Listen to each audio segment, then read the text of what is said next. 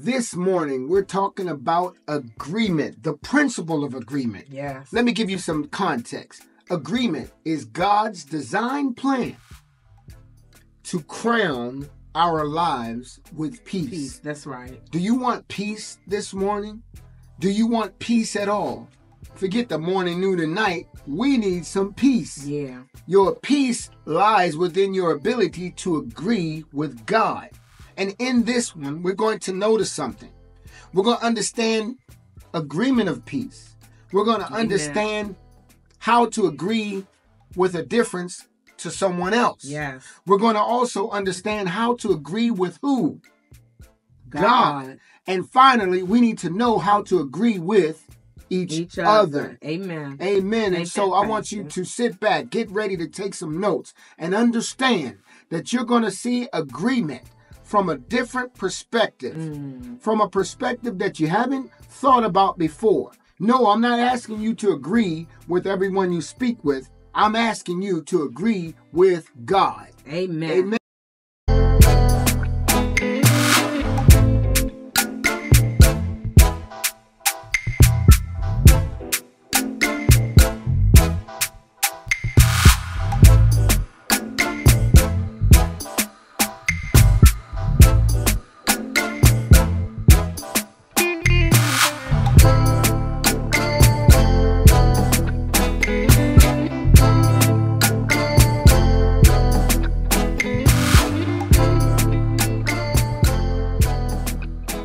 Amen. Amen. The power of agreement.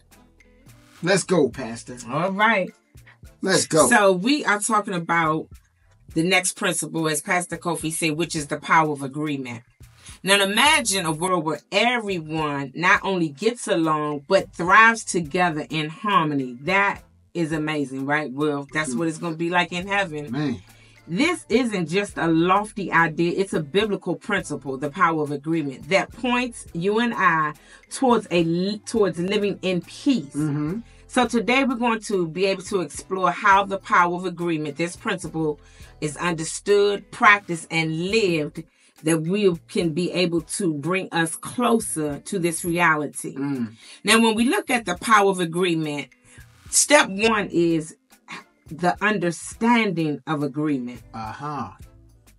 When we look at that, understanding agreement is the first step towards living in peace, setting the foundation of every form of agreement by aligning our desires, our will, and actions with God's, plan. Amen. Okay. Yeah. You want to say something, Oh, that's, that's coming along right there. So, agreement in its spiritual essence is far more than a mere concurrence of opinion. hmm It is a harmonious alignment of our heart, Hmm. the spirit, and purpose. In order to be able to understand agreement, we must first recognize that as a foundational principle of the Hmm. kingdom of God. To understand agreement, we must first recognize it as a foundational principle of the kingdom of God. Amen. Amen. It is about aligning our desires, again, our will and actions with God's divine plan. Mm. And as you and I seek to understand agreement, what happens is we delve into the knowledge of God's work, allowing it to shape our thoughts, dealing with the mindset, our actions. And this understanding is the first step towards living in peace as it sets the foundation for all forms of agreement that we aim to achieve. Mm, mm, mm. So that's the first step. That's the first step. Agreeing with, with, with God, coming in alignment with what coming in alignment is. with God and His will for our lives. Yes, So God's plan for our lives. yes, You know that aligns with my very why. The very thing Mm. that causes me to get up in the morning to study, to make sure that I'm approved by God, to make sure that I'm doing the right thing every day. yeah, This is my why. yeah, My why is to get all of us to accept God's plan yeah, for our lives yeah, and to complete every assignment that He gives us. yes. And you talk about that. You teach on it. You minister it. You live in it. So Mm, mm, I mm, get mm. it. You t- Okay, amen. Yeah. I'm just seeing how the principles work. Okay, let's go with number two. which is agreeing with the difference. Number two is agreeing with the difference. So here it is. When we look at the summary of agreeing with the difference, it's embracing the differences is the key to agreement. Mm, Embracing our differences is the key to agreement. We're not going to always agree, right? No, we're not. but we have to learn to embrace our differences, Hmm. recognizing the unique contributions of each individual. Watch this without compromising our values and finding a common ground amidst diversity. Mm. You want to say something, Pastor? Yeah, because I, I often hear when you hear a debate or an argument, or even in the midst of one myself, Mhm. I find that when you're talking to someone and they have a contrast view of yours, Mhm. I find that you have to let them know that you comprehend what they're saying, but they take your comprehension as agreement Mhm. with what they're saying. Mhm. And it's not always that you agree. There's that moment to agree to disagree. Yeah, I think yeah. lays right there. But in within this principle of agreement, it is to have a comprehension Yeah. of yes. where the other individual is coming from Yes. and to agree with the different perspective that you have about the same thing. Yeah. Yeah. Wow. Mhm. Okay. That's good. Okay, I feel you on that. Me and my wife, we are um born in the same month, and we have some of the same uh tendencies. And different people call them tendencies stubborn, right? And what I'm looking at is that was a nice way to say that, wasn't it? Take Yes. notes, take notes. But when we do that, when we do that, when we come in that space where ne- neither of us are yielding, if you Mhm. will, neither of us are yielding on a point, then I notice that we like a like a virtual referee just comes in the middle of it and says, "Okay, she's not changing, he's not changing. Okay, we go." And we agree to disagree Mhm. with that moment. Now, one of us might come back and say, "You know what? You were right." But it doesn't happen at that moment. At that moment, we agree to split the difference. Yeah. In other words, I hear you. You go your way, I go mine. We have the same belief system. I didn't compromise on what I believed. She didn't compromise on what she believed. But we walked away in peace. And God will bring enlightenment as to which one needed to adjust their thinking. Yeah.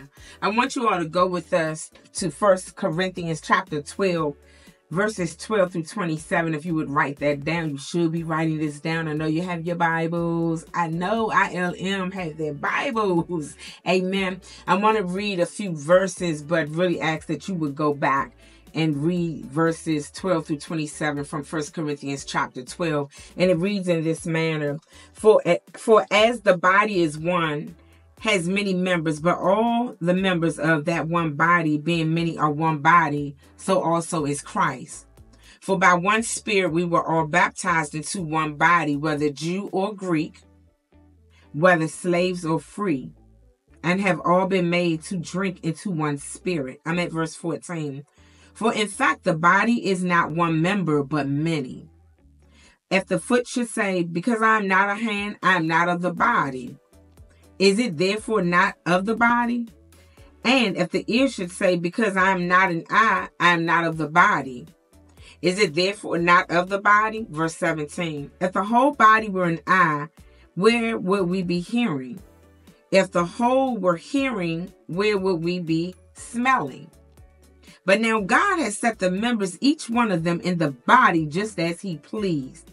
I'm at 19. And if they were all one member, where would the body be? 20. But now indeed there are many members, yet one body. And it, these verses, they just go on to say that the eye cannot say to the hand that I have no need of you, nor no gain to the head, to the feet, I have no need of you. But really go down and read. I want to drop to 27 and you are the body of Christ and members individually. I'm going to say that again, read that again. Now you are the body of Christ and members individually. So go back and read verses 1 through 26. Mhm. So when we look at one of the most profound challenges in this journey of agreement is embracing the differences of each other, right? Mm. Agreeing with the differences does not mean, as Pastor said it a few minutes ago, compromising our values as beliefs, but rather recognizing and valuing the unique contributions that each person brings to the table. Really what it's about, it's about finding, being able to identify a common ground amidst diversity, mm-hmm. acknowledging acknowledging that the body of Christ is made up of many parts with its own function and importance. Now, when we looked at those verses and you heard for your re- reading, this step calls for humanity.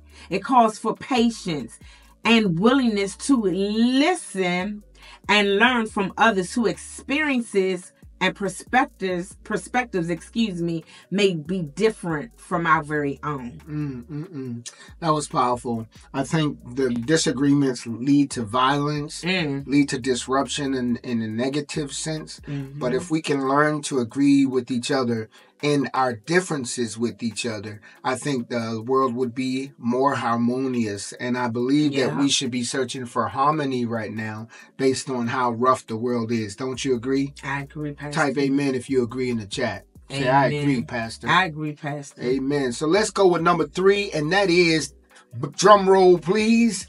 Agreeing with God. Hallelujah. Agreement Hallelujah. with God agreement with God. Whose agreement mm. do you think is the most important out of all entities you know?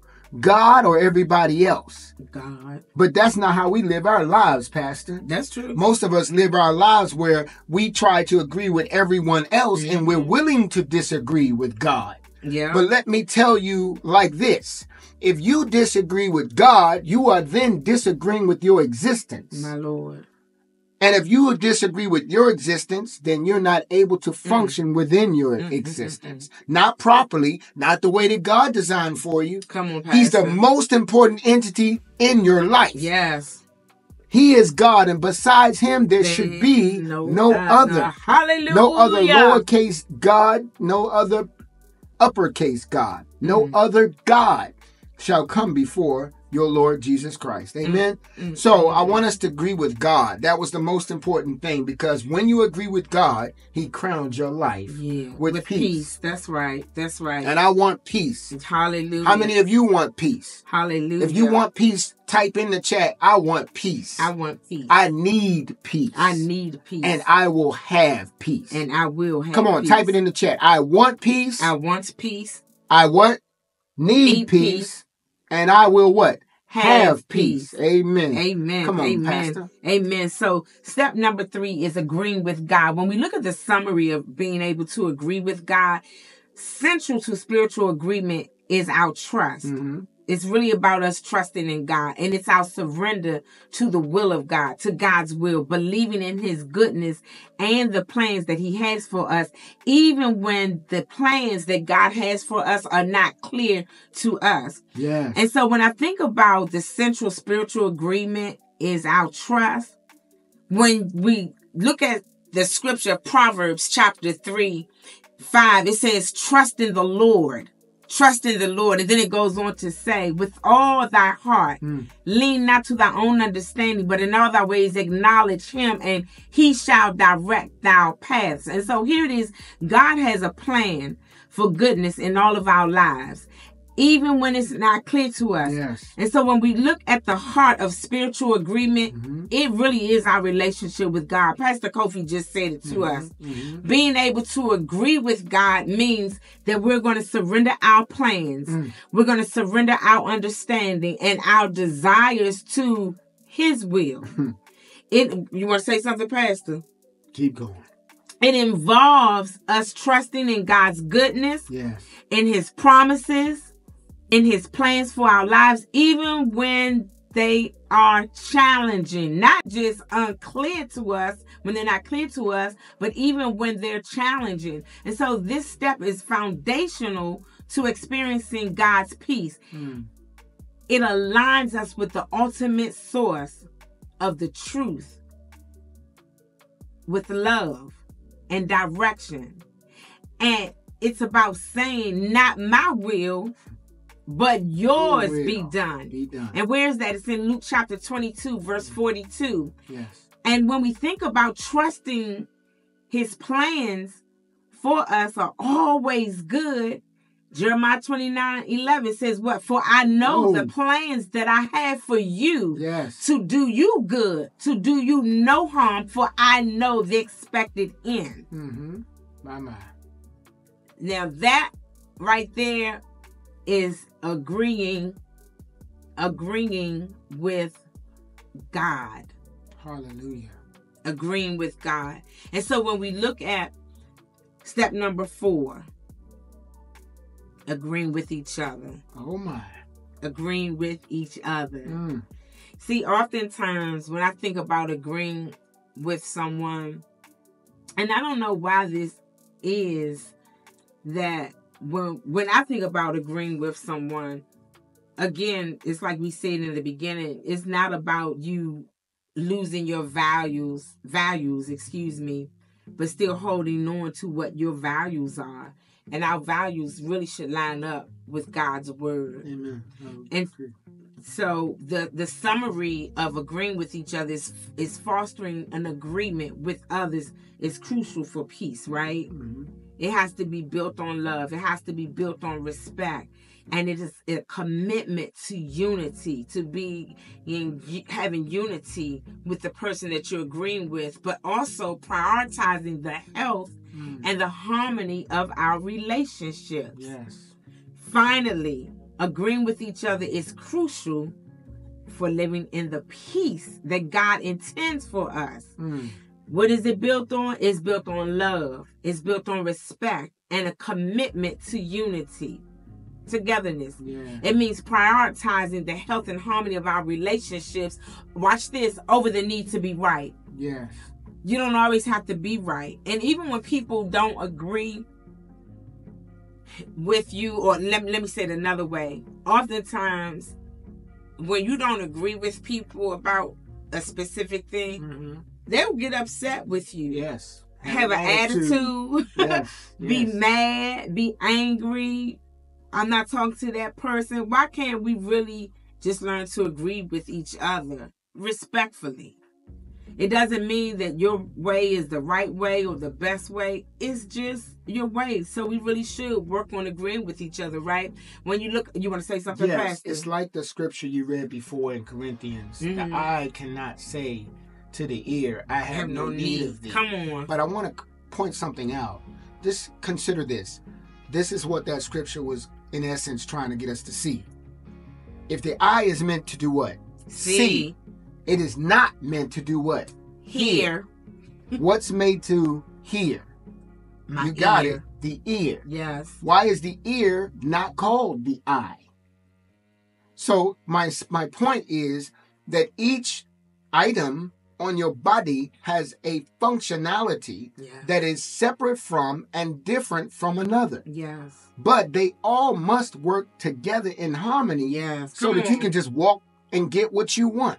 So that you can hear something and comprehend it. Yes. So that you can reach down and pick something up. Yes. You follow what I'm saying? Yeah. So you can turn your head and move about. So you can put it in your mouth and chew and swallow. You Yeah, follow me? yeah. Everything that you want to do is contingent upon all of your members agreeing with each, each other. other. That's right. That's Amen. Amen. They must agree so that the will of God can Yeah. get done. Yes. Yes. Yes. Just like your items must agree in order for you to function and move about Mm. and do what you have to do or do what you want to do. You ever think about that? You're moving around and you're you're you're angling yourself, you're turning, you're spinning around in a chair, you're moving, you're going up and down steps, you're doing things that you take for granted. Yes. Meaning you take for granted that your leg ain't broke, Mm. that your neck wasn't stiff when you tried to turn it. In other words, each member had to function independent of the other Yes. In order for the grand scheme of things Mm. to happen. Yeah. Yeah. That's good. And in order to, in this world, in order for us to function together, we must agree. Yeah, yeah. Amen. Amen. I want us to look at Ephesians chapter 4 3. And it reads in this manner endeavoring to keep the unity of the Spirit in the bond of peace. And so Ephesians 4 3, it is urging you and I to make every ep- effort, excuse me, to keep the unity of the spirit through the bond of peace.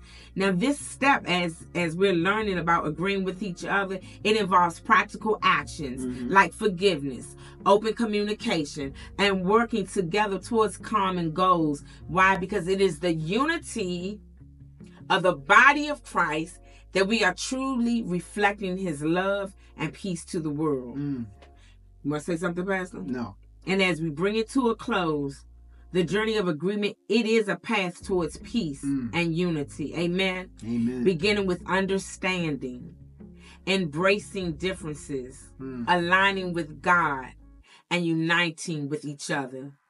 The journey of agreement is both personal and mm. it is communal Communal pursuit. Yeah, Amen. And it begins with a deep understanding of what agreement means. It extends through embracing our differences and aligning ourselves with God.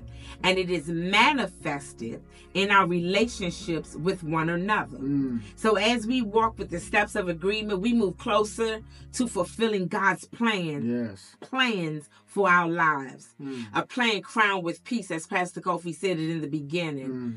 a plan crowned with unity and love. Therefore, let us commit to this path of agreement. It's a principle of God, trusting that as we do, we will experience the profound peace that comes from living in harmony with God's will. God's will now, remember we said, we read Luke chapter 242, not my will, but thy will be done Mm, with each other. mm. Living in harmony with God's will and with each other. Hallelujah. Hallelujah. Living in harmony Yes. with what God created. So listen, Pastor. Yes, sir. Okay. Hallelujah. Pause. Sorry. Okay. You ready? I was trying to make sure I got that scripture right. Okay. Luke 2 42. That's why I wanted to see it on the notes. Okay. Maybe you should do that another time Okay. instead of in the middle of the broadcast. Okay. Thank you for that open rebuke. Be, rebuke. Okay. It's right on the notes, though. All right. There we go. Thumbs up. Hmm. We gotta watch our thumbs up. I think that's mimicking me. Oh, Us, brother. You ready? I am. Five, four, three, two, one. Wow, what a powerful message, Pastor. Mm, Tell me something. Tell Yes, me sir. something. Tell me something.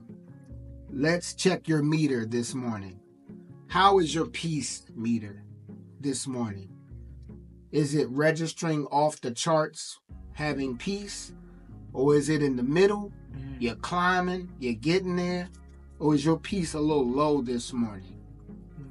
Well, for those of you all who are not optimized in your peace, which is all the way over, then let's agree with God Yes. this Yes. morning. Yes. Put aside your differences. Yes, He wants you to live holy. Yes, you have to live holy. Yes, yes, yes. You have to put away sin in your life. Amen. Yes, yes. That's what a Christian All does. Yes. A Christian is a Christ like one. Yes. It is not a perfected one, it's just Christ like in its actions. Yes. In their actions. And so you and I must put away sin, right? That's all it is to it. And so, listen, this is my point. We typically don't agree with God because we don't want to put away sin. Oh. Did you know That's true. that that's the major original reason why we don't come in agreement with God is because his ways are strict and we want freedom of choice. And so I'm saying, don't you want peace? And so this morning, let's let God crown our lives with peace Yes. By you. accepting the principle of agreement. Okay? Let's allow the Lord, let's come in agreement with his plan, Mm, his will for our lives yes. so that we can get what he has for our lives. Yes. How about that? Hey, listen, if you're struggling with peace, if you're struggling with being able to agree, let us pray right now. Yes. Thank you. As a matter of fact, pray with me now. Father, Father, in the name of Jesus, in the name of Jesus, I struggled in the I past struggled in the past with agreement. with agreement. First, I didn't agree with you. First, I didn't agree with you. I didn't know how to agree with the difference. I didn't know how to agree with the difference. I didn't know how to agree with my fellow man. I didn't know how to agree with my fellow man, And therefore, and therefore, I didn't agree I didn't agree with me. with me. But help me this morning but help me this morning by saving me by saving me and filling me full of your and spirit filling me full of your spirit, that I might know that I might know how how to come in agreement come in agreement with your spirit with and your will spirit for my life. will for my life. Help me, Jesus. Help me, Jesus. In Jesus' name. In Jesus' name. Amen. Amen. Hallelujah. Amen. Amen. Hallelujah. Amen and amen. I hope Hallelujah. that you chose to agree this Hallelujah, morning with Lord. God because I desire for you to live a life of peace and freedom, which is found in Jesus Christ. Hallelujah. We hope that you caught the value today of the principle of agreement. And we're going to continue with the principles because we here at ILM Love you. but more importantly, God loves you. you. And you, and you, and you, and us. Peace. We'll see you soon, Blessings. right here.